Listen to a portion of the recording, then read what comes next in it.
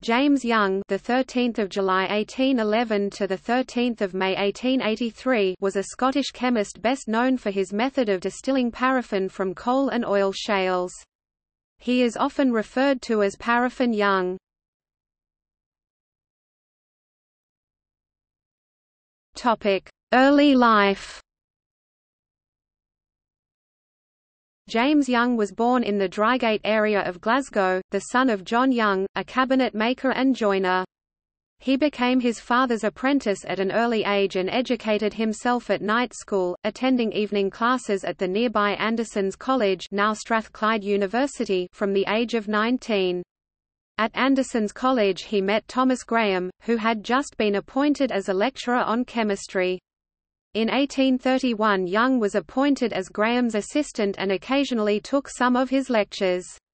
While at Anderson's College he also met and befriended the explorer David Livingstone. This friendship continued until Livingstone's death in Africa many years later.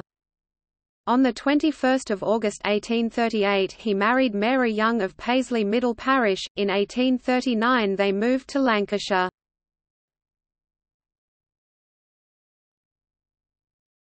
Topic: Career.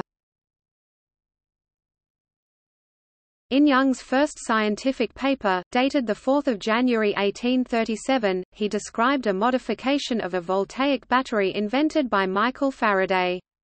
Later that same year he moved with Graham to University College, London where he helped him with experimental work. Topic chemicals In 1839 Young was appointed manager at James Muspratt's chemical works Newton Le Willows, near St Helens, Merseyside, and in 1844 to Tennant's, Clough & Co., at Manchester, for whom he devised a method of making sodium stannate directly from cassiterite.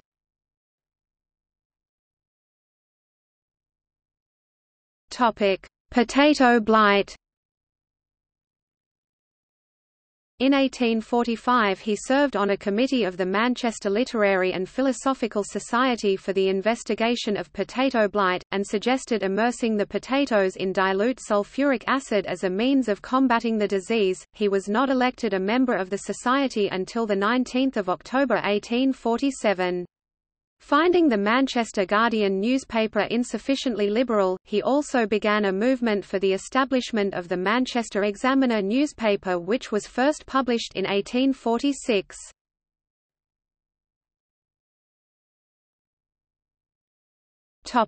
Oils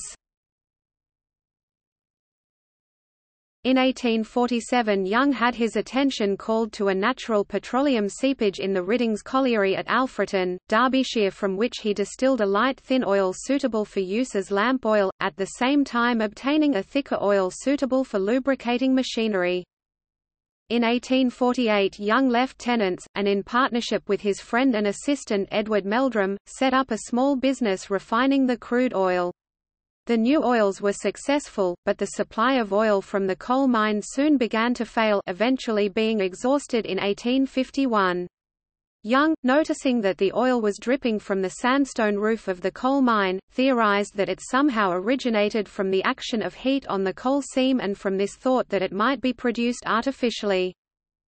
Following up this idea, he tried many experiments and eventually succeeded in producing, by distilling cannel coal at a low heat, a fluid resembling petroleum, which when treated in the same way as the seep oil gave similar products. Young found that by slow distillation he could obtain a number of useful liquids from it, one of which he named paraffin oil, because at low temperatures it congealed into a substance resembling paraffin wax. Topic patents The production of these oils and solid paraffin wax from coal formed the subject of his patent dated 17 October 1850.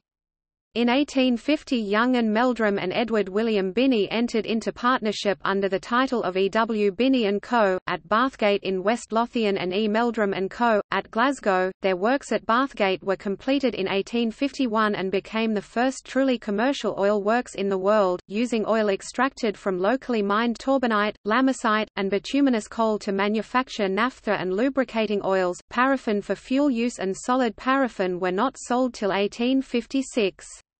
In 1852 Young left Manchester to live in Scotland and that same year took out a U.S. patent for the production of paraffin oil by distillation of coal. Both the US and UK patents were subsequently upheld in both countries in a series of lawsuits and other producers were obliged to pay him royalties.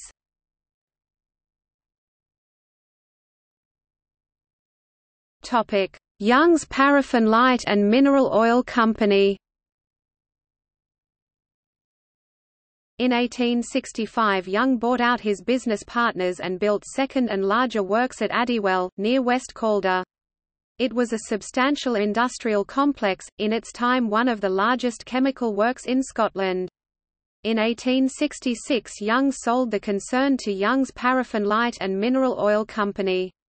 Although Young remained in the company, he took no active part in it, instead withdrawing from business to occupy himself with yachting, traveling, scientific pursuits, and looking after the estates which he had purchased.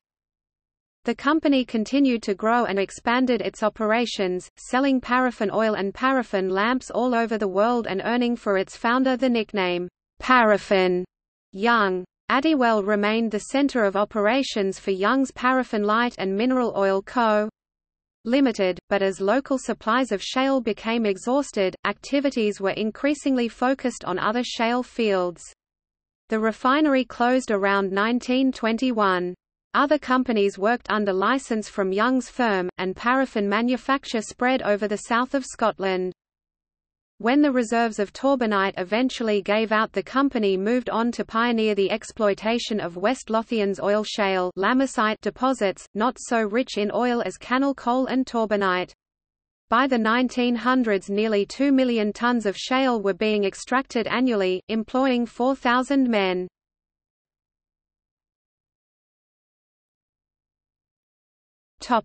Other work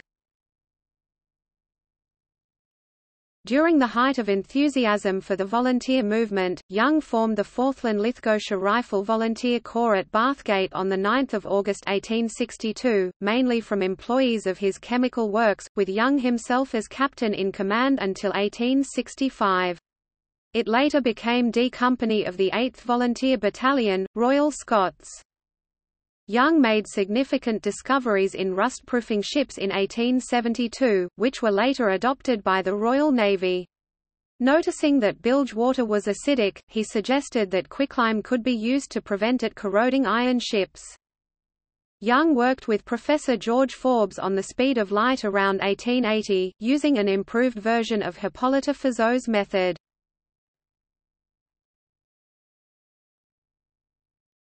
Topic: Honours In 1847 Young was elected to the Manchester Literary and Philosophical Society. In 1861 he was elected Fellow of the Royal Society of Edinburgh. From 1868 to 1877 he was president of Anderson's College and founded the Young Chair of Technical Chemistry at the college. In 1873 Young was elected a Fellow of the Royal Society. In 1879 he was awarded an honorary LL.D. of St Andrews University. From 1879 to 1881 he was Vice President of the Chemical Society.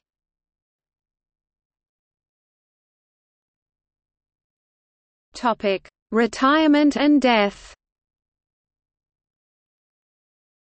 Young's wife died, and by 1871 he had moved with his children to Kelly House, near Wemyss Bay in the district of Inverkip. The 1881 census record shows him living with his son and daughter at this estate. Young died at the age of 71 in his home on 16 May 1883, in the presence of his son James. He was buried at Inverkip churchyard.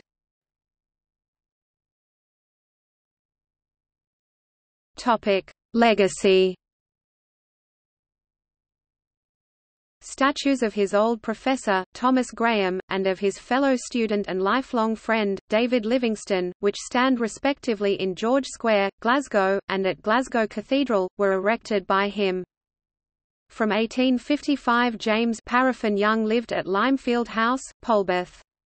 A sycamore tree which Livingstone planted in 1864 is still flourishing in the grounds of Limefield House. There too one can see a miniature version of the Victoria Falls, which the missionary discovered in the mid-19th century. It was built, as a tribute to Livingstone, by Young on the little stream which runs through the estate. Young had a lifelong friendship with David Livingstone, whom he had met at Anderson's College. He gave generously towards the expenses of Livingstone's African expeditions, and contributed to a search expedition, which proved too late to find Livingstone alive.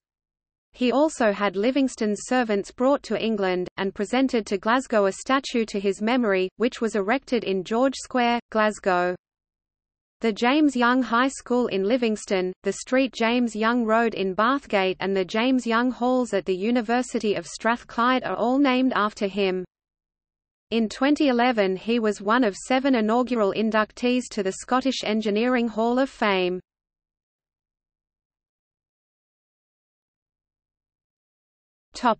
See also.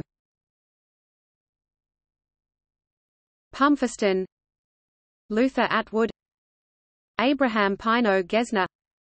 Alexander Selligue. History of the oil shale industry. Monkland Railways Wilsontown, Morningside and Coltness Railway. Topic Notes Topic external links Media related to James Young chemist at Wikimedia Commons Young, James 1811–1883. Dictionary of National Biography. London, Smith, Elder & Co., 1885–1900.